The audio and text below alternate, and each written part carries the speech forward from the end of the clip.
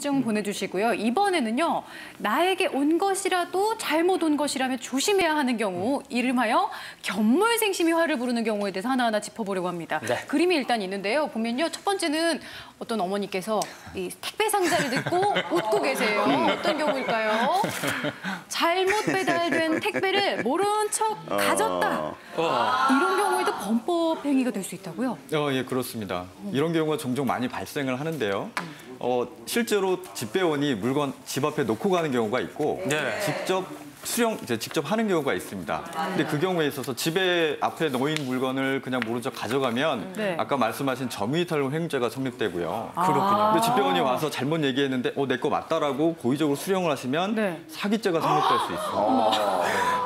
직접 또 그런 부분에 있어서 또 물건을 사용하지 않고 계속 가지고 있다가 아무런 네. 조치도 취하고 있다고 하면 그것도 똑같습니다. 그렇기 때문에 잘못 배달된 택배가 있는 경우에 반드시 택배 회사에 전화를 해서 사진 촬영해 놓은 거를 보여주시고 택배 회사로 하여금 직접 찾아가도록 하시는 것이 현명한 대처 방법입니다. 그러니까 나쁜 마음으로 내가 가지고 있어야지 이런 게 아니라 그냥 언젠가 찾으러 오겠지 하고 갖고 있는 것도 죄가 될 수 있다고 하는 거 기억하셔야겠네요. 예.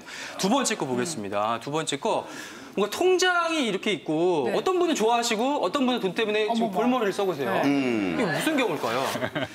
내 계좌에 잘못 송금된 돈을 써버렸다. 그러니까 요즘 그 온라인이나 뭐 모바일로 송금 많이 하니까 이런 경우들이 좀 있죠, 최 변호사님. 예, 그 요즘에 이제 워낙 인터넷이나 이 모바일로 많이들 하시니까 실제로 이런 일이 많이 발생을 합니다. 2014년도에 한 1,452억 원 정도, 2017년도에는 한 2,385억 원 정도나 잘못 송금이 된 돈이라고 합니다. 그리고 작년 같은 경우는 건수로만 보더라도 9만 건이나 된다고 하니까 실제로 그냥 탁 누르면 가버리고 잘못 갈 수가 있지 않습니까? 근데 이제 이게 잘못 간 다음에 이제 이걸 받은 사람, 받은 사람은 어느 날 갑자기 자기 통장에 돈이 확 들어와 있으니까 네. 예, 기분이 일시적으로 어 이게 웬 또? 이렇게 이 생각을 하겠죠. 네. 예, 정말 근데 이때부터는 판단을 잘 하셔야 되는 게 그럼요, 그럼요. 어. 횡재당으로 썼다가는 네. 예, 횡령죄에 해당이 됩니다. 아. 잘못 들어온 돈이 음. 자기 통장에 있다면은 그 돈을 보관해서 돌려줄 의무가 있어요. 아. 그렇기 때문에 이걸 쓰면 횡령죄에 해당이 되고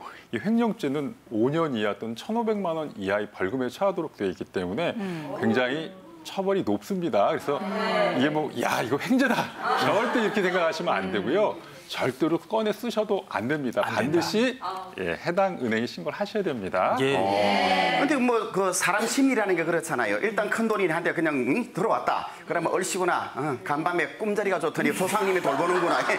아 이래가지고 입 싹 닦을까 이런 생각을 하거든요. 아 근데 이럴 때는 이제 어떻게 대처를 얘기해야 옳은 건지. 네, 그 이렇게 이제 잘못 송금된 돈이 자기 통장에 들어온 걸 발견하게 되면은요, 이건 반드시 주인에게 돌려줘야 될 의무가 발생이 됩니다. 그렇기 때문에 쓰시면 절대 안 되고요.